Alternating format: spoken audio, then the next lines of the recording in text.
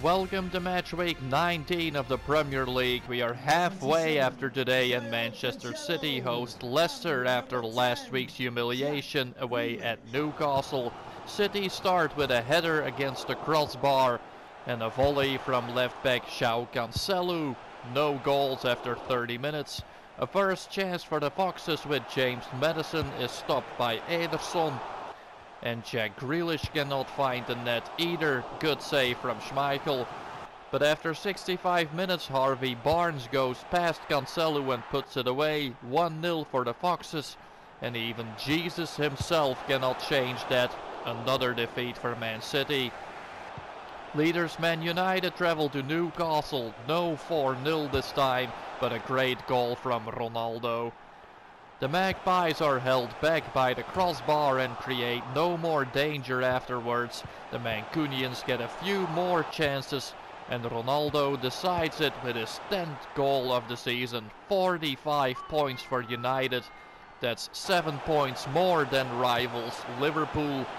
Mo Salah and Sadio Mane beat Leeds United with 2-0 and Chelsea finally break into the top 6 thanks to Kai Havertz who scores the winning goal away at Aston Villa 1-0.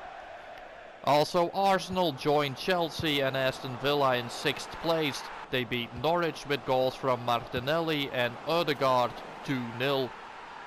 Brighton and Brentford have been doing surprisingly well so far. They meet at the American Express Stadium and both teams have a chance to win it but it remains nil-nil. Both clubs stay in mid-table. While Tottenham make progress with a 2-0 win against Crystal Palace. Son opens the score, left back Mitchell misses the one-all, and Oliver Skipp heads in the 2-0. Also, Wolves get a super win against Watford. Adama Traore opens the score at Molineux. He is denied a double but not Hee Chan Hwang, who doesn't see a lot of resistance to make it 2-0 and 3-0.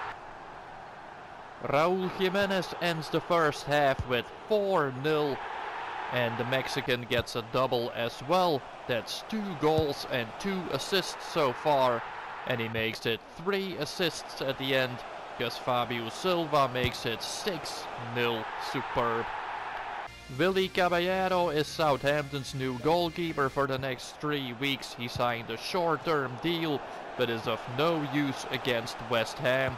Thomas Soucek opens the score at the London Stadium, and Antonio doubles the lead for the Irons.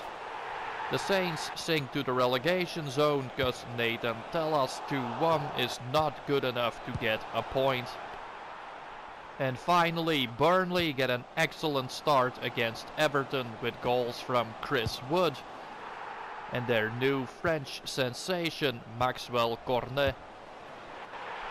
2-0 becomes 2-1 via Richarlison. But it's Burnley who get their second victory of the season. McNeil's cross is headed in by Lucas Digne. Quite the own goal. 3-1. See you next week. Peace.